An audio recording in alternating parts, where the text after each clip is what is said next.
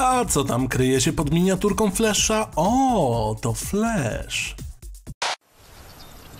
None of us were ready for the end.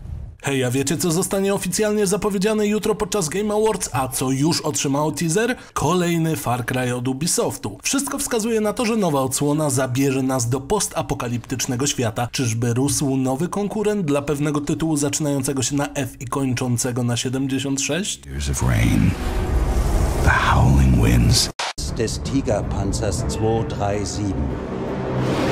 Zdążyliście zatęsknić za Battlefieldem 5? Nowy potężny patch poza poprawkami ray tracingu i nową mapą dla multi wprowadza kolejny rozdział fabularny. Nie obyło się bez jednodniowego poślizgu, ale już jest. Ostatni Tygrys zabierze nas do końcówki II wojny, gdzie prześledzimy losy załogi czołgu.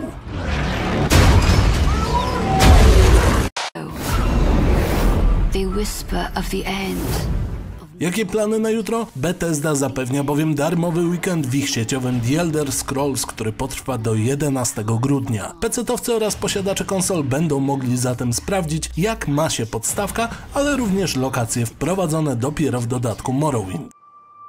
To realize Szwecja, lata 80. i Avalanche Studio za sterami. Oto jest Generation Zero, czyli kooperacyjny FPS. Dziś twórcy postanowili podzielić się aż godzinnym materiałem, który widzicie w tle. Alternatywny bieg historii w akompaniamencie wartkiej akcji napawa optymizmem, tylko żeby doszlifowali wydajność silnika.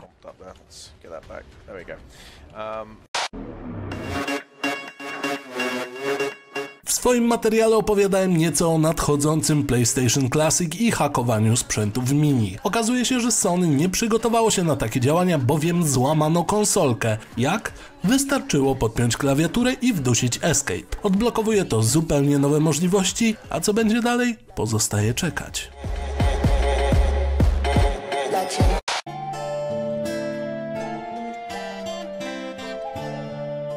Fanów czekających na ostateczne acz fanowskiej z rozmachem pożegnanie z Geraltem zasmuci fakt, że pożegnanie Białego Wilka zalicza obsuwę. Twórcy moda do dwójki poinformowali na swoim Facebooku, że nie pojawi się on w tym roku. Nie znamy nowej daty premiery, ale trzymamy kciuki za jakość prac. Far Cry z Apokalipsą, Microsoft kończy z Edge, co, co tu się dzieje?